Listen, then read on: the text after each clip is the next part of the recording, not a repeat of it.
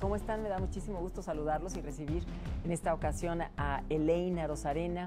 Ella es pues muchas cosas porque tiene una vida muy interesante entre México, Europa, Estados Unidos, ya nos contarás.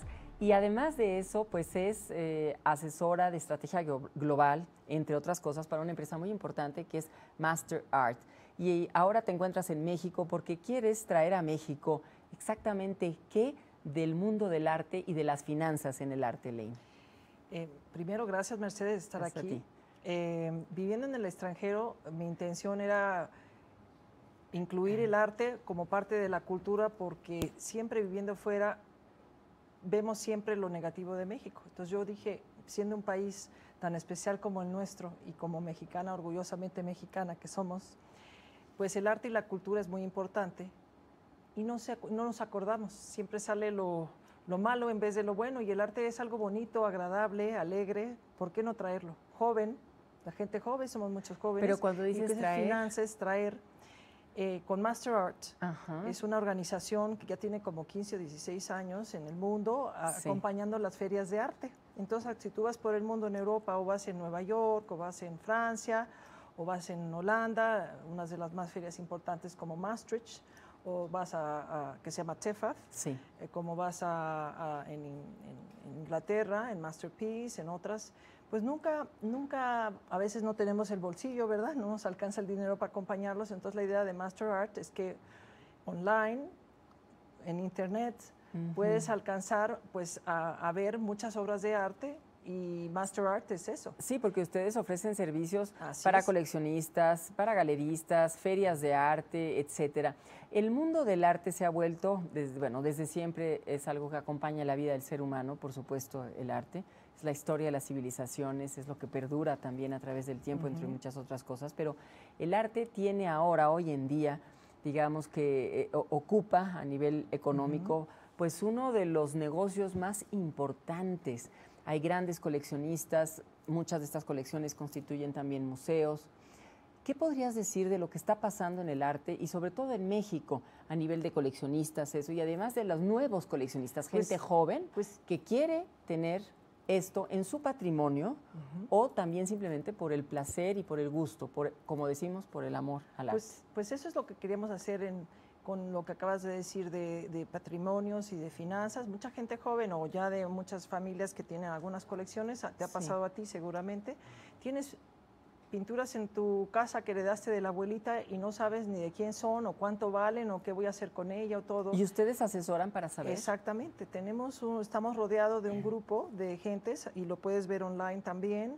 Si yo viajo por algún lado o si yo creo que tengo una obra que era de mi abuelita, que vino aquí, que lo tengo ahí colgado, que me lo heredó, o que a lo mejor me adorna mi sala, o voy a comprarme una casa nueva y no sé qué quiero comprarme o algo así, ayudamos a guiar a todo mundo en cómo hacer esa inversión, porque también el arte es una inversión. Len, en México hay grandes coleccionistas desde siempre y, por ejemplo, el arte contemporáneo está teniendo pues un auge inusitado desde hace ya muchos años. Eh, ¿Qué se necesita para saber ser un coleccionista? ¿Y realmente es caro adquirir obras de arte?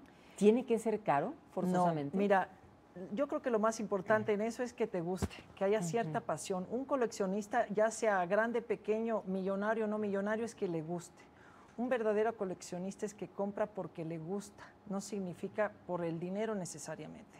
Claro, hay gente cuando ya tiene cierto estatus o si ya llegó a un cierto nivel, eh, ¿por qué no invertir en una pieza importante de cierta fama? No, no es lo mismo Sí. comprar un artista joven Sí. que comprar un artista de nombre internacional, que a veces es diferente el acceso. Pero, pero yo creo que lo más importante es que le guste al coleccionista. Eso es lo más importante. Elaine, uno puede coleccionar muchas cosas, pintura, arte gráfica, escultura, eh, joyería, relojes, coches, etcétera, etcétera, etcétera.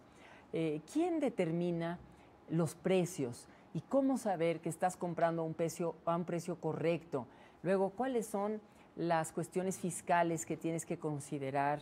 eh, te debes de basar nada más en tu gusto o debes de pedir la asesoría de alguien? Mira, esa es una muy buena pregunta porque todo el mundo tiene la tendencia o a no saber qué hacer o a irse a una, ejemplo, en el caso de una pintura, una galería, a veces a un amigo que tiene la colección de coches o algo así, una joyería.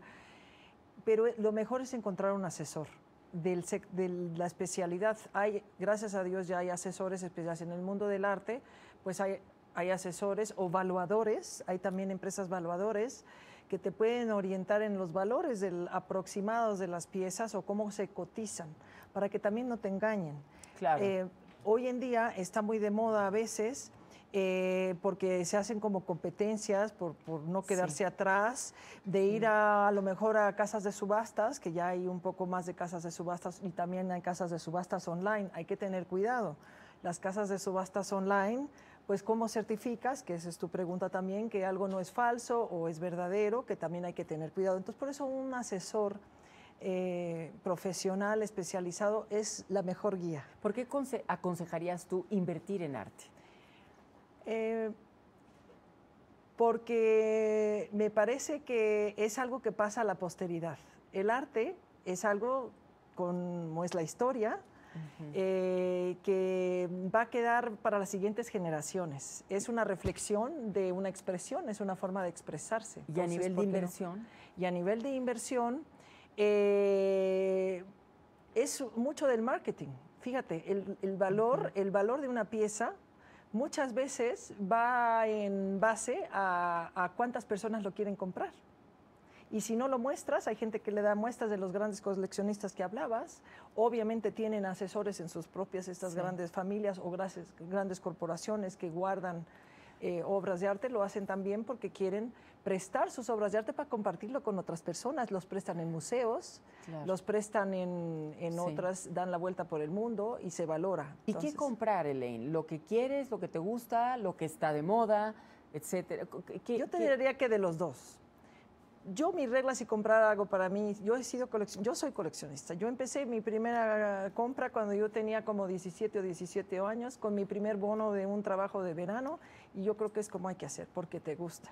Y luego ya si te gusta hay que seguir como en una línea, escoger algo que te guste y, y luego seguir eh, buscando la manera de hacer algo que tú quieras pues dejar después, eh, si eres alguien ya de más dinero o que vas creando algo, que puedas dejar para compartir con otros. ¿El, público de México puede tener acceso a Master Art y a su asesoría? Sí, sí. ¿Cómo? Eh, www.masterart.com.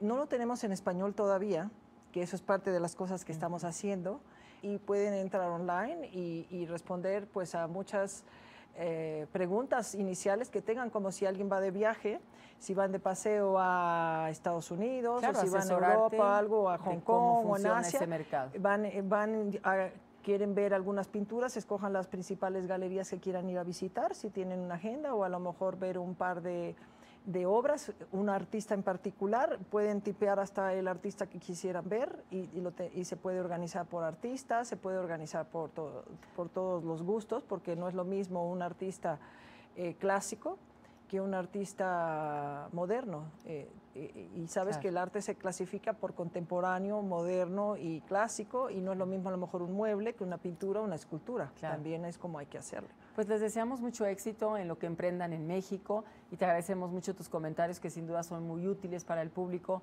y para todos los que amamos el arte y queremos siempre tener una asesoría para elegir mejor y saber cómo invertir también mejor nuestro dinero. Muchísimas gracias y nos vemos en la próxima.